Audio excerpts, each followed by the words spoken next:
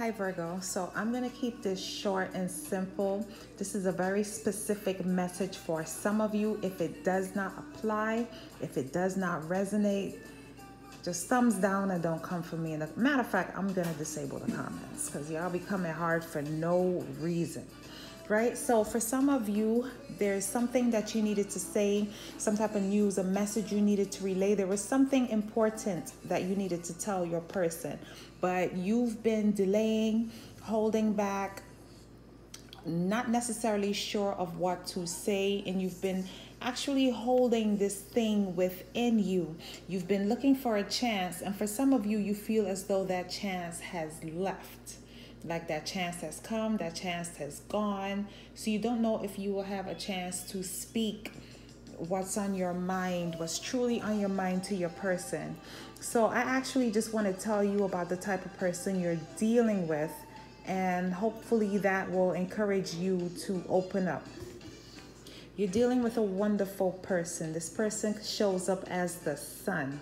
Okay, it could be your counterpart, the mother of your children. I know it's not an empress, but you know, this could be your, you know, the other half of you, pretty much. Mother of your children, father of your children, whatever. This person loves you to bits. Okay, this person loves you to bits.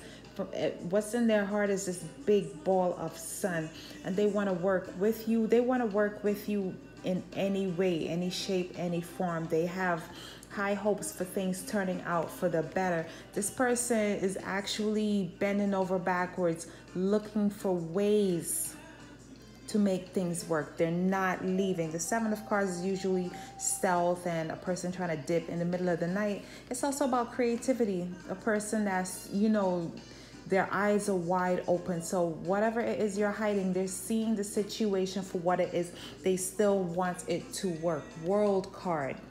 Okay, they want another cycle. They don't want to like leave the cycle or, you know, anything like that. With the fool, this person is here ready to take a chance, take a risk. There, this is like your person I didn't even pull any more cards. I pulled the top line. When I saw the top line that you just are not saying something that you're holding back from communication, I said, let me see who they're dealing with. What type of a, you know, there's nothing to be afraid of. Say what you have to say to this person. Because in this person's eyes, you're like the sun. The sun rises and sets in their eyes where you're concerned. So say what you got to say, Virgo. Get it off your chest. All right. And I'm going to leave this here. Look at that a three minute reading. Have a good night, guys.